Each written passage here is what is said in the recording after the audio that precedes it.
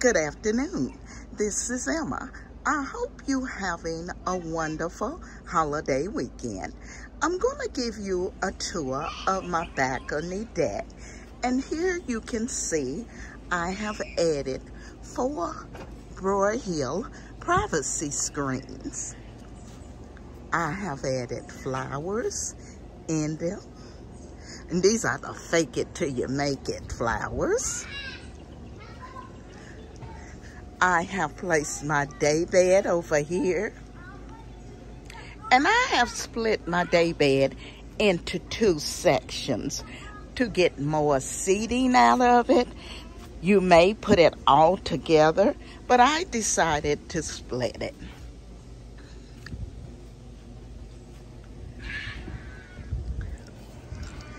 Over here, I have placed a shelf couple of flowers and my TV.